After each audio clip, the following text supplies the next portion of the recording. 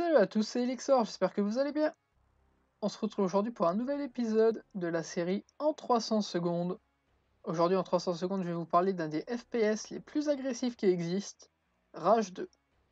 Sorti le 14 mai 2019 sur PC, PS4 et Xbox One, Rage 2 est un FPS en monde ouvert, co-développé par ID Software, les créateurs de Wolfenstein 3D et de la série Doom, et d'Avalanche Studio, créateur de la série Just Cause.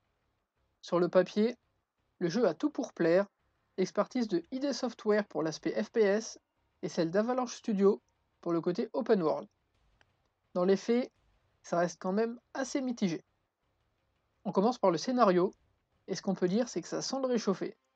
Un ancien général revient à la tête d'une armée de mutants et tue notre mentor lors de l'attaque de la dernière enclave archéenne. Au passage, je ne suis toujours pas sûr de savoir qui sont les Archéens.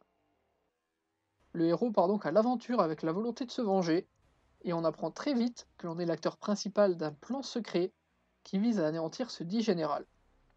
Motivation du héros, on l'a compris, c'est la vengeance. Notre motivation personnelle, j'en ai pas trouvé. Tout va très vite, et on sait pas trop ce qu'on fait là. La seule chose qu'on retient, c'est qu'il faut tuer les méchants, car ils sont méchants. C'est dommage car l'idée de départ est sympa, avec un monde post-apo et des références aux années 90 et à la pop culture. En matière de gameplay par contre, c'est là que Rage 2 se démarque. On est sur un FPS nerveux qui se marie très bien avec son aspect open world. Tantôt assaut en zone ouverte, comme avec les postes de bandits dans les terres arides du Vastland, tantôt assaut dans des zones fermées, avec des bâtiments et autres simili de donjons. Cependant, les boss sont loin d'être mémorables, ils sont même souvent anecdotiques mais qu'il s'agit de la trame principale ou des missions annexes, tout est prétexte à laisser exprimer sa violence aux différents coins de la carte, et c'est fun. Outre les armes à feu, le héros a également à disposition différents pouvoirs nanotrites pour venir à bout de ses ennemis, tels que le focus, l'overdrive et le saut 0G. Concernant l'amélioration du héros, l'aspect SF du jeu propose de nouvelles idées.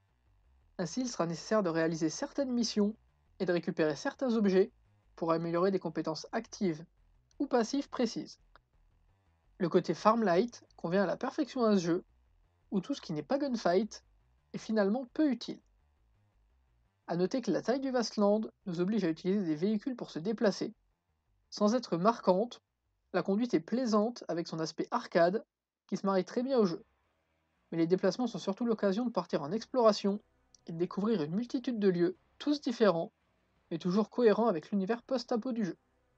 Canyon, plaine désertique, forêt, marécage, on en prend plein la vue. C'est coloré, c'est lumineux, c'est beau, mais c'est parfois un peu vide. J'en profite aussi pour féliciter le doublage français, qui est remarquable, malgré la qualité des dialogues qui laissent à désirer. En termes de notes, jeuxvideo.com a mis la très généreuse note de 17 sur 20. En point négatif, on retrouve une courte durée de vie pour un open world. Pour moi, un open world ne doit pas forcément avoir une durée de vie infinie, c'est même le bon moyen de perdre le joueur. Je préfère un jeu court et bon, un jeu interminable mais mauvais. En point positif, on retrouve les gunfights à l'intensité rarement égalée.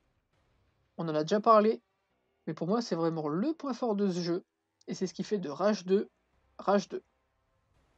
Du côté des joueurs, ils ont été bien plus sévères et ont donné 12,3 sur Xbox One et 10 sur les deux autres supports. Je pense personnellement qu'une note intermédiaire de 14 serait plus appropriée pour Rage 2. Finalement, là où ID Software apporte le meilleur de ce que le studio sait faire, Avalanche Studio de son côté propose les mêmes défauts que dans ses autres productions. Sans être très bon ni très mauvais, Rage 2 est simplement correct la qualité de ces gunfights a l'avantage de masquer bon nombre de défauts, sinon ne s'y attarde pas. Alors si vous aimez les gunfights intenses et nerveux, et que vous souhaitez vous la jouer Mad Max, en 300 secondes, je vous recommande de jouer au moins une fois à Rage 2. C'est tout pour aujourd'hui, j'espère que cette nouvelle vidéo en 300 secondes vous aura plu. Si c'est le cas, n'hésitez pas à me le faire savoir en laissant un pouce bleu, un commentaire et à vous abonner si ce n'est pas déjà fait. Comme d'habitude, faites-vous plaisir, ça me fera plaisir.